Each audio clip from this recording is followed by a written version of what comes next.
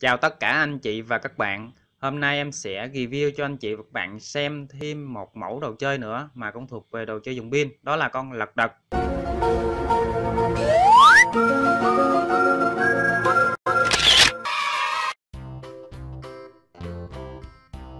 Thì đầu tiên em sẽ nói về màu sắc sản phẩm này nó sẽ có ba màu, màu vàng, màu đỏ và nó là màu xanh lá cây.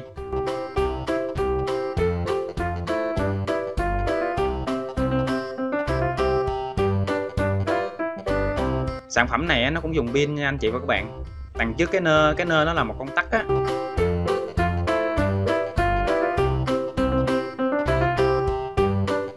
Thì ở ngoài phía sau của con lật đật nè anh chị cho các bạn xem nè.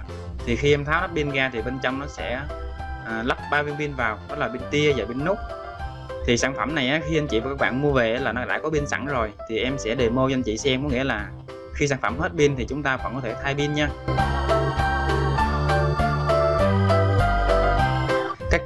Con lật đật này là thuộc về cánh dẻo anh chị và các bạn mũi dẻo chúng ta bẻ thoải mái cũng không bao giờ bị gãy. Trên đầu của con lật đật nó có hai cái râu. Thì hai cái râu này nó cũng bằng mũi dẻo luôn.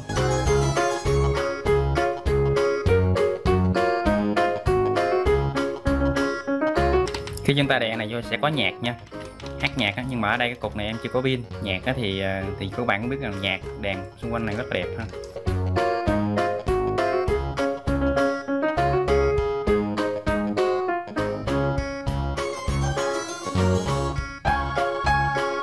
Chúng ta chơi là để nè. Chúng ta chơi thì con em chúng ta sẽ không bao giờ bị ngã nha. Xây được đó, rồi chúng ta để nó lật lật lật quay lật lại không bao giờ nó ngã gọi là lật đật.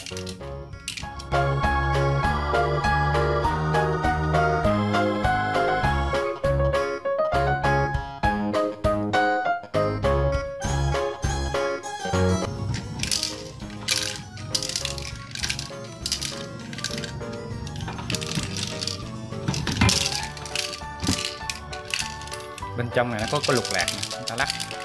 Lắc nó sẽ có cột gà gù gù vào bên trong.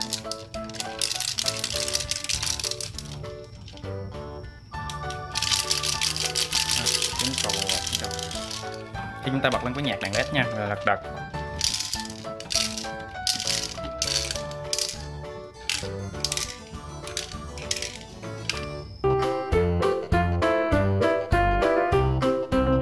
khi chúng ta đè này vô sẽ có nhạc nha